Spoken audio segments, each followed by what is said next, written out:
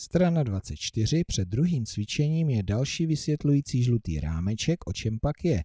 Je o odčítání, o odčítání dvojciferných čísel, ale pozor, s přechodem přes stovku. To je hodně těžké, takže se podíváme na video a postupně si to vysvětlíme.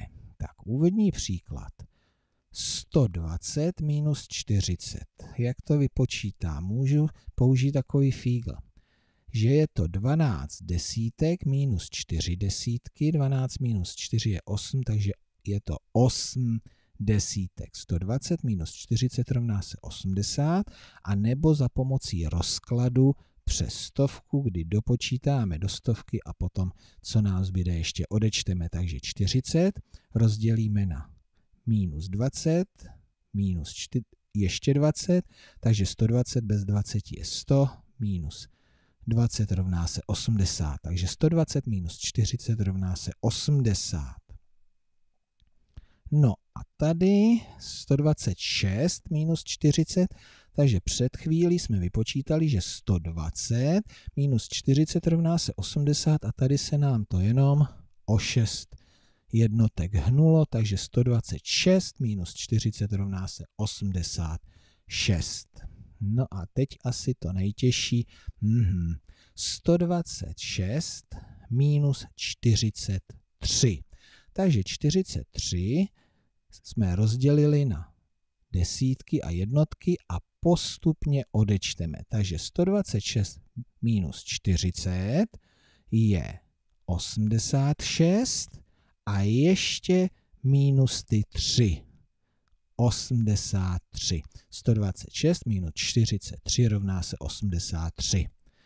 Tak, tohle bylo lehké, ale teďka přejdeme do těžších příkladů v jiných stovkách. Takže 920 minus 40, zase můžu tím fíglem, 92 desítek minus 4 desítky rovná se 88 desítek, takže se rovná 880 nebo s tím rozkladem přes celou stovku minus 20 minus 20. Takže 920 minus 20 rovná se 900 minus 20 880. Tak, stejný příklad, jenom se tady liší, že tady je 6 jednotek. Takže 920 minus 40 bylo 880 a tady je to o 6 posunuté, takže 926 minus 40 rovná se 886. No a ten nejtěžší příklad ukázkový 926 minus 43.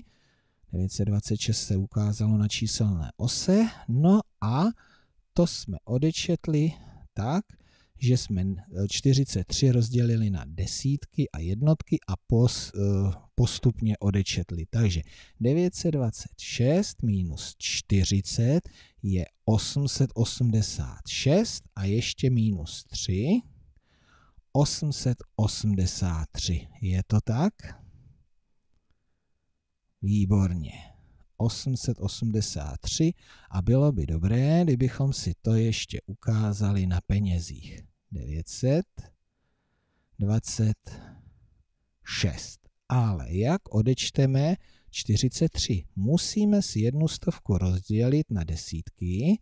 Tak a teďka už můžeme odečíst 40 a potom ještě 3. Takže minus 40 a ještě minus 3.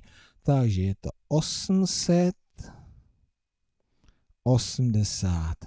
883.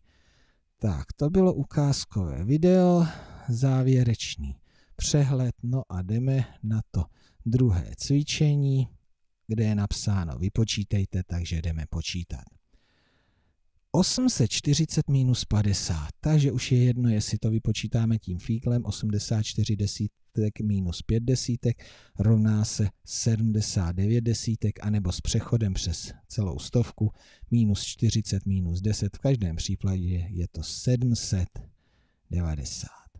847 minus 50, lišíme se tady těmi jednotkami, takže se to o 7 posune. 700 97 a zase tento příklad je vlastně stejný jako tento, Tady se ale liší jednotkami, takže ještě ty čtyři jednotky od toho odečtu. 797 minus 4, 793. Bčko 684 minus 92. Já si to tady ještě jednou napíšu, ale s rozkladem.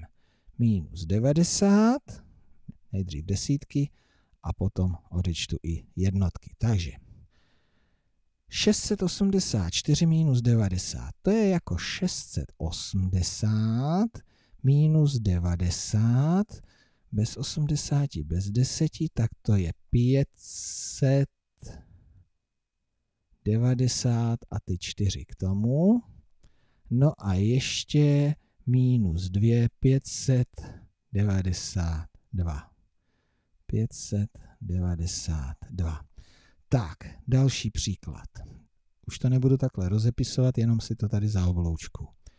536 minus 63, takže 536 minus 60, to je jako 530 minus 60, to je 470, ale 6 ještě k tomu, minus 3, 473.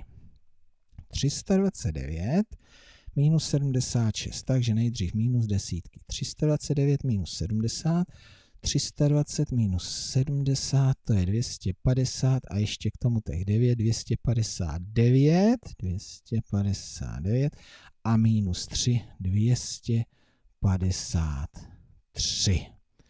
Tak a teďka už sami. 755 minus 81, tak, 755, nejdřív minus desítky. Aha. A teďka ještě minus jednotky, 674. 418, pardon, minus 37, takže 418 minus 30, Aha, a ještě minus 7. 381. Tak a poslední 943 minus 62, 943 minus 60 rovná se. Aha, a ještě minus 2. 881. Takže to jsou všechny ukázkové příklady. Podíváme se, jestli jsme dobře počítali. Ano, žádnou chybu jsme neudělali, ještě tady nějaké příklady jsou. Ty si můžete zkusit, pokud vám to ještě úplně nejde. Snad jste princip pochopili, no a teďka se to jenom pořádně naučit, aby jsme mohli tohleto pamětně počítat.